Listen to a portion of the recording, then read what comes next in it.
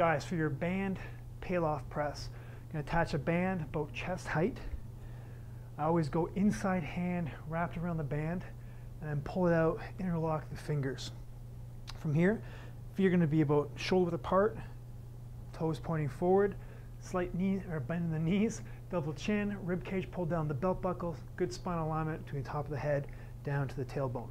From here, shoulders are pulled back down into your back pockets. Big breath into the belly. Exhale.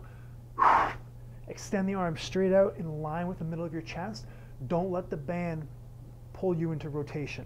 Okay, this is an anti-rotation drill.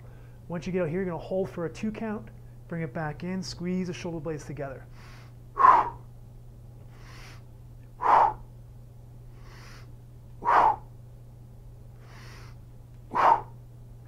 Guys, that's your band Pallof press.